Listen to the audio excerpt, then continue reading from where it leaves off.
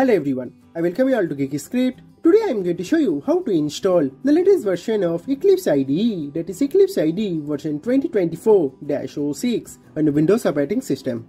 And after that I am also going to show you how we can easily run a simple Hello World Java program on our Eclipse IDE so do watch the video till the end. I can guarantee if you watch the video till the end, you'll be learning a lot of new things. And if you still face any issues in middle, you can always comment in our comment sections. I'll try my best to help you. And also, please don't forget to subscribe our channel and also please do share with your friends that really motivate me to make more such videos. So now to install Eclipse IDE, you need to first simply go to favorite browser and then you need to search over here Eclipse IDE download and hit enter. So that's going to show you this www.eclipse.org as a first search result. So I'm going to click on this Eclipse downloads. So that's going to redirect to the official site of Eclipse Foundation page. So this link, this eclipse.org slash downloads link, I'm going to provide right in our description. So you can also use that link from our description to land over here.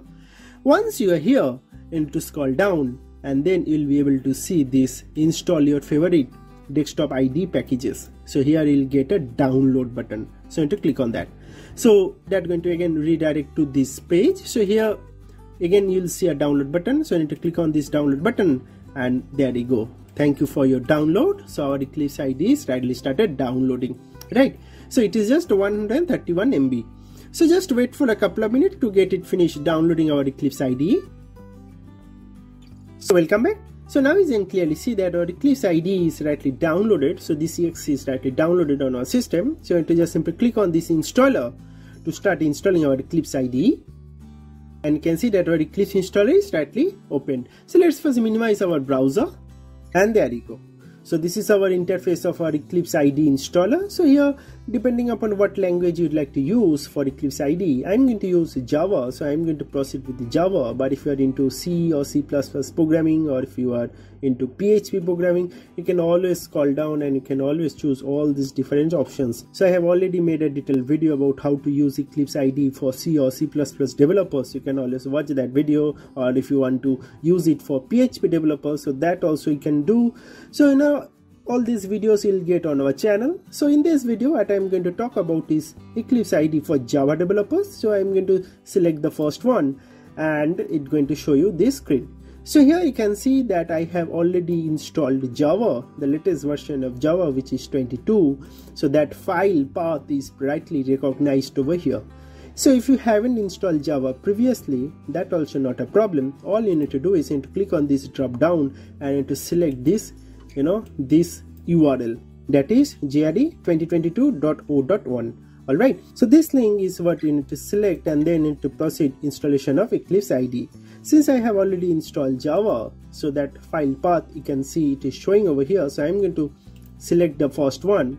So now my J, uh, JDK22 install path is directly you know, shown over here and all other things you need to keep it default and you need to click on install and you can see it is rightly started installing so it will ask you about this license agreement you need to read this then you need to click on accept now.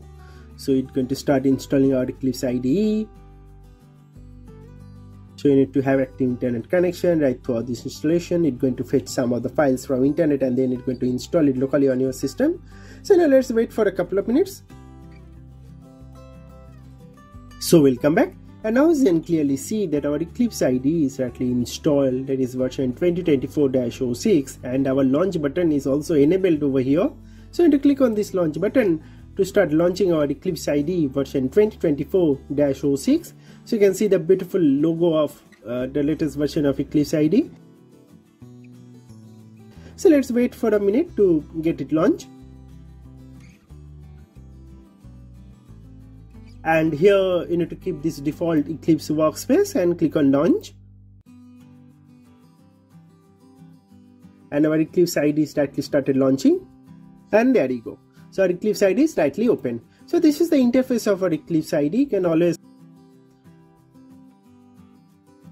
it's going to also redirect to the sponsors page. You can always donate some amount to Eclipse IDE because they have really developed a very good software. So now let's uh, minimize this and this is the interface of Eclipse IDE. I'm going to quickly create a new project. So I'm going to you know close this and I'm going to go to file and hover over new and going to click on Java project over here.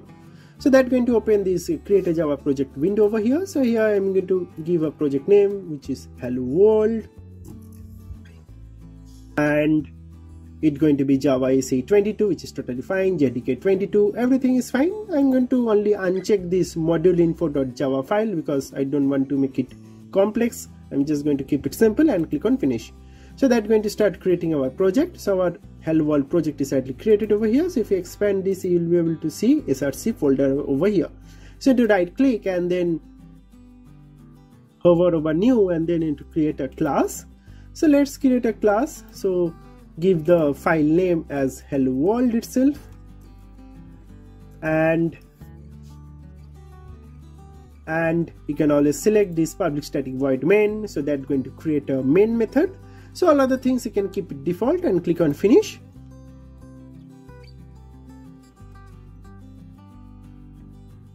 So you can see that our hello world.java file is actually created and that file is also opened and it is a main method so that main method is also created over here.